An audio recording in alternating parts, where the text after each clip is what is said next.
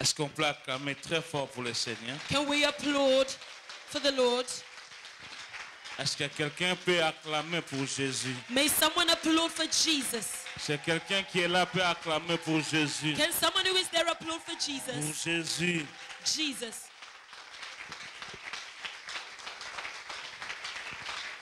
Amen. Amen. Que Dieu vous bénisse abondamment. May God bless you abundantly. Pour nous asseoir, merci beaucoup. We can be seated. Thank you very much. Vous saluez votre voisine, votre voisin. And you can greet your neighbor left and right of you et Vous lui dites shalom. in order to tell them greetings, Quelqu'un qui peace. est à côté de vous, Someone who is next to you, vous le bénissez au nom de Jésus. you can bless them in the name of Jesus.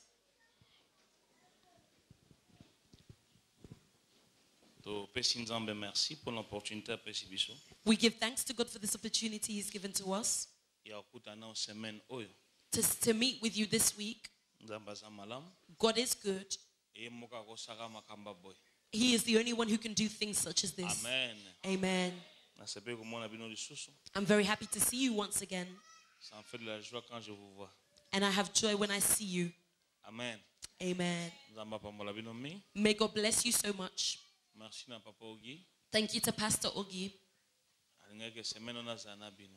Alingaki semaine oyo nazala na bino He wanted for me to be with you this week. merci beaucoup so na mama nicole And thank you also to, to Mama Nicole. amen Amen. mama nicole We call you call her Mama Nicole, mama cole and I call her Mama Cole. ye moko ayebi poani She knows why. amen Amen. et merci aussi pasteur na biso And thank you also to our Pastor Elisha, un homme très bon très disponible a good man who is always available. Merci mpona équipe nyonso papa timothée ancien jeka tout le monde nzambe apambola bino Thank you for the whole team, the elders and the deacons. May God bless you. amen Amen. toza 4 jours We have four days, nzambe asunga lelo na osala introduction and God will help us in order to have an introduction. lobi na sika odekole mwa makasi And then tomorrow we shall lift off. Nzambe asunga biso dimanche to aterri And then God will, uh, God will help us on Sunday that we may land. amen Amen.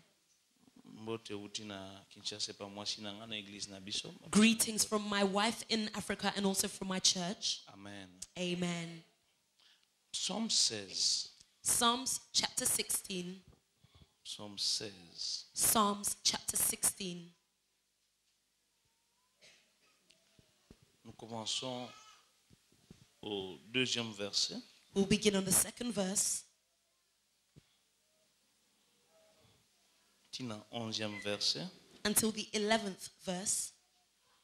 Mais en particulier, il n'y a que trois versets qui m'intéressent. But the three verses which really interest me Versets 7, 8, na 11. is verses 7, 8, and 11. Mais pour une bonne compréhension à texte, For good comprehension of the text, on va partir du deuxième verset. we shall read from the second verse.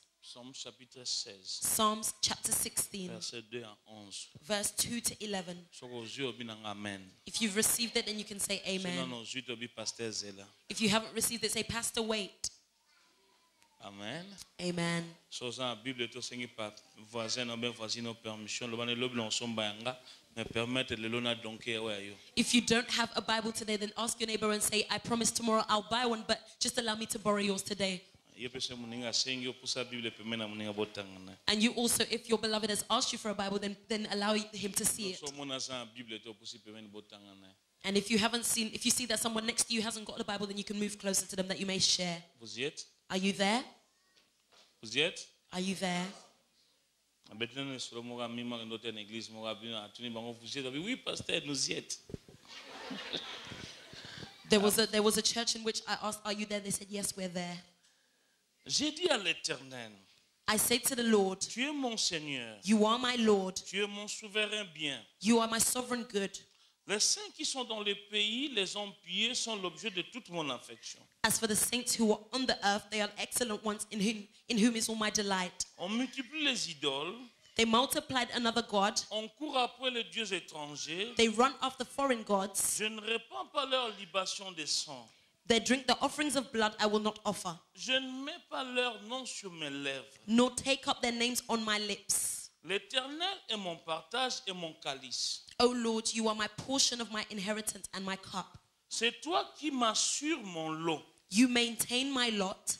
Un héritage délicieux m'est échu. and the lines have fallen upon me.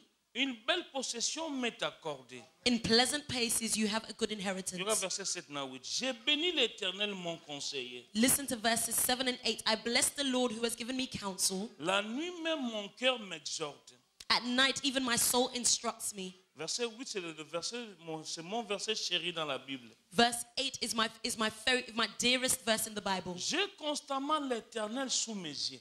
I have set the Lord always before me Quand il est à ma droite, because he is at my right hand.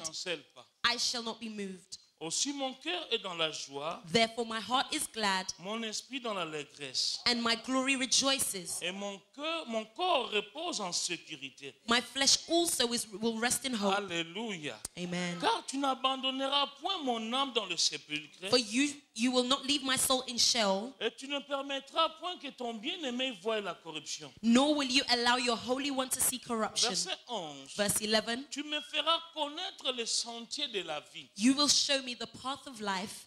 Et il y a d'abondantes joies devant ta présence. In your presence is fullness of joy, Des délices éternelles à ta droite. and your right hand are pleasures. Des délices éternelles à ta droite. At your right hand are pleasures. Nazo oza pembeni na nzambe mpo ozwa plaisir. So as you are next to God, you must receive something moko azwa plaisir na libala You must receive some pleasure from your marriage, bafere na ye in their business, in their life, mpo oza kaka na présence ya nzambe because you are in the presence of God. Alleluya Amen. parce tokotanga verset 11 biso nyonso Can we all read verse 11 together? one to go tu me feras Help us connaître find les the sentiers de life. la vie In your il y a presence, d'abondantes joies is devant ta fullness of joy. face des at your délices right hand éternelles are à ta pleasures droite forevermore. amen Amen. The theme of our seminar is in his presence. amen Amen. dans sa présence In his presence. seigneur merci Lord, we give you once again thanks.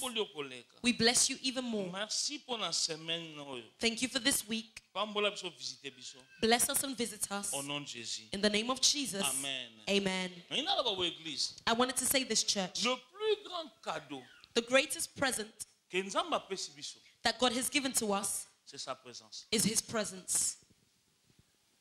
soki oza chrétien. If you are a Christian, né de nouveau. born again, tu as reçu le seigneur. you have received the Lord. cadeau monene oyo nzambe apesa The greatest present the Lord can give you